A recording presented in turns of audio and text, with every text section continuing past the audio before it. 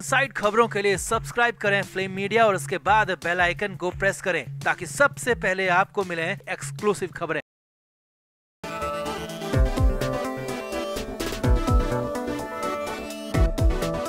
नवाब मलिक के हालात लगातार खराब होते जा रहे हैं। मलिक के हालात बिल्कुल बिगड़ रहे हैं। कंडीशन ये है कि अब मलिक पर हमले की नई तारीख भी आ गई है। जी हाँ ईडी ने नई तारीख तय कर दी और इस बार एक्शन अटैक डबल होगा, क्योंकि न सिर्फ़ नवाब मलिक बल्कि मलिक के बेटे पर भी इस बार एक्शन होने जा रहा है। हालात ये है की मलिक के बेटे के पास सिर्फ़ छह दिन का वक्त बचा है। तो क्या है नया अपडेट? क्या होगी? अगली तारीख कौन सी है? वो तारीख क्यों एक खास तारीख को ही नवाब मलिक और उनके परिवार पर ईडी का डंडा चल रहा है। आपको सब कुछ बताते हैं। आप इस वीडियो को शेयर करें और कमेंट करके अपनी राय ज़रूर दें कि इस बार ईडी भारी पड़ेगी या फिर नवाब मलिक इस बार भारी पड़ जाएँगे। कमेंट ज़रूर करें।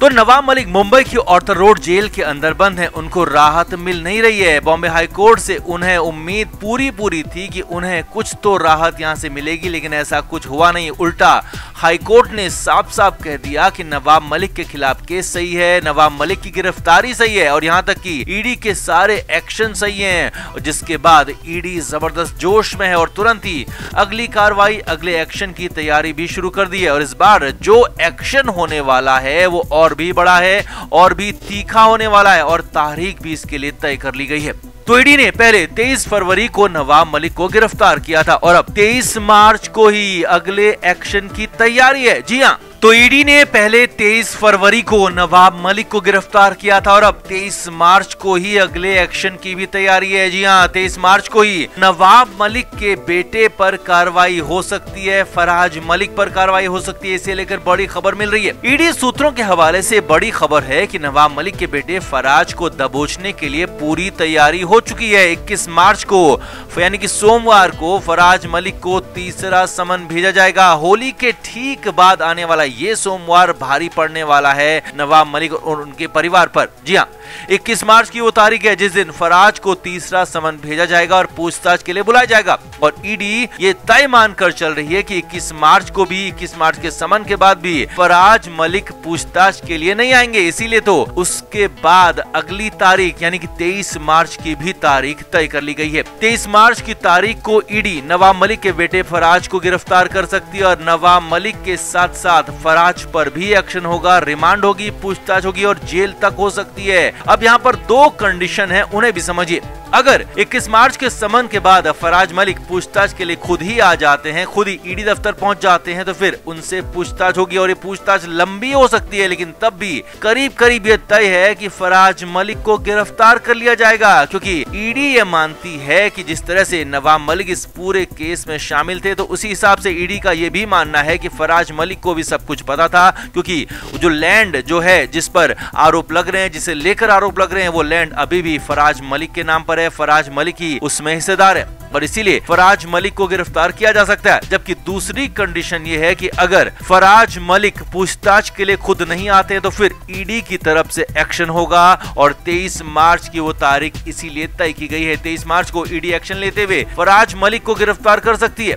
अब वैसे भी फराज मलिक ने ईडी के पहले समन के बाद वक्त मांगा था और कहा था कि 20 साल से ज़्यादा पुराने मामले में कई बातें वो भूल चुके हैं, इसीलिए उन्हें वक्त चाहिए और इसीलिए करीब करीब महीने भर का वक्त ईडी की तरफ़ से दिया भी जा चुका है और ईडी महीने भर से इंतज़ार ही कर रही है, लेकिन फराज मलिक पूछताछ के लिए पहुँचे नहीं है। लगातार समन भेजे जा रहे हैं, लेकिन उनको वो इग्नोर कर रहे हैं, इसीलिए अब तीसरे समन की तैयारी है। तीसरे समन के बाद वैसे भी जाँच एजेंसी के पास अधिकार होता है कि वो संबंधित शख्स को गिरफ़्तार कर सकती है, और इसीलिए अब इस केस में भी ही कुछ हो सकता है।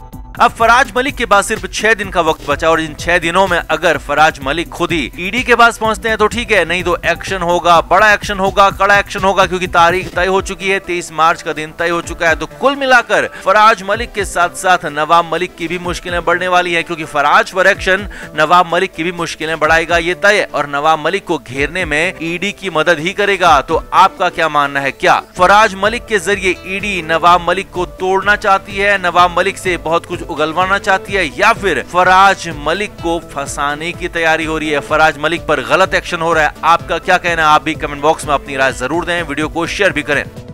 तो नवाब मलिक को अपनी लीगल टीम पर पूरा पूरा भरोसा था और सीनियर वकील अमित देसाई की लीडरशिप में मलिक की याचिका पर ज़बरदस्त बहस भी हुई थी। 11 मार्च तक बहस की गई थी और मलिक को भी इसकी जानकारी दी गई कि उनके वकीलों ने कितने दमदार तरीके से अपनी बात को कोर्ट के सामने रखा और शायद इसीलिए नवाब मलिक को पूरा भरोसा था कि इस बार बॉम्बे हाई कोर्ट उन्हें राहत ज़रूर मिलेगी। कि सरकारी वकील ने क्या दलीलें दी? वो नवाब मलिक को बताया ही नहीं गया हो, इसीलिए तो नवाब मलिक भी सही हालात हालात का अंदाज़ा लगा नहीं पाए और झूठी उम्मीदें पाल ली। फाइनली 15 मार्च को नवाब मलिक को हाईकोर्ट से झटका लग गया।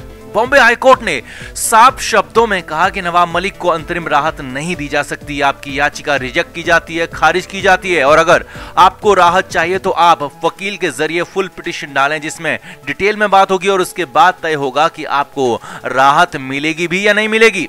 तो यानी कुल मिलाकर नवाब मलिक को बहुत बड़ा झटका लगा कोर्ट से और वो भी तब, जबकि मलिक को यकीन था कि उन्हें राहत मिली जाएगी।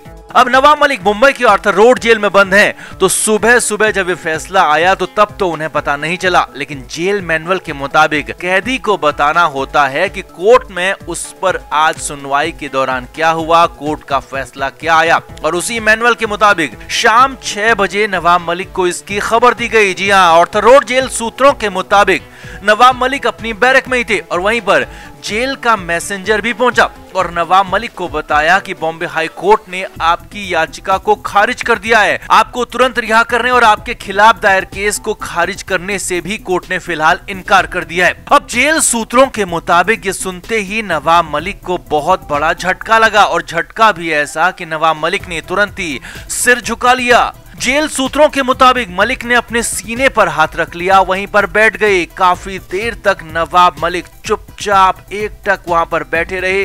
अब जेल सूत्रों के मुताबिक इस दौरान नवाब मलिक की आँखें भी नम हो गई थी, क्योंकि उन्हें यकीन ही नहीं, बल्कि पूरा पूरा यकीन था कि उन्हें राहत मिल ही जाएगी, मगर फैसला बिल्कुल उल्टा आया। और इसीलिए इस फैसले पर भी उन्हें यकीन नहीं हो पा रहा था। इसीलिए वो बेचैन हो गए। सीने पर हाथ रख लिया, आँखें नम हो गई, सिर झुका लिया और निराशा के बादल चारों तरफ़ से नवाब मलिक के आसपास नज़र आने लगे। नवाब मलिक निराशा में घिर गए। जेल सूत्रों के मुताबिक अन्य दिन नवाब मलिक सामान्य दिखते हैं या कहें कि सामान्य दिखने की कोशिश करते हैं और अपने चेहरे पर शिकन भी नहीं आने देते और जेल के अंदर होते हुए भी परेशान नहीं दिखते, परेशान नहीं होते। लेकिन बॉम्बे हाई कोर्ट के फैसले ने उनके चेहरे की रंगत बदल दी। जेल सूत्रों के मुताबिक काफ़ी देर तक नवाब मलिक ऐसे ही बैठे रहे। उनकी आँखें नम थी, चेहरे पर परेशानी साफ़ साफ़ नज़र आ रही थी। हालाँकि उनकी सेल के बाहर मौजूद बंदी रक्षक ने उनसे परेशानी को लेकर पूछा भी। जेल सूत्रों के मुताबिक, जिस पर नवाब मलिक ने ठीक होने की बात कही, लेकिन वो ठीक नहीं थे।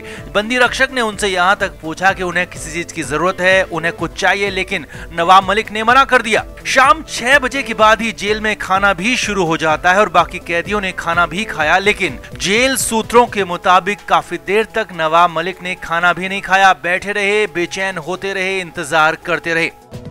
Flame media report.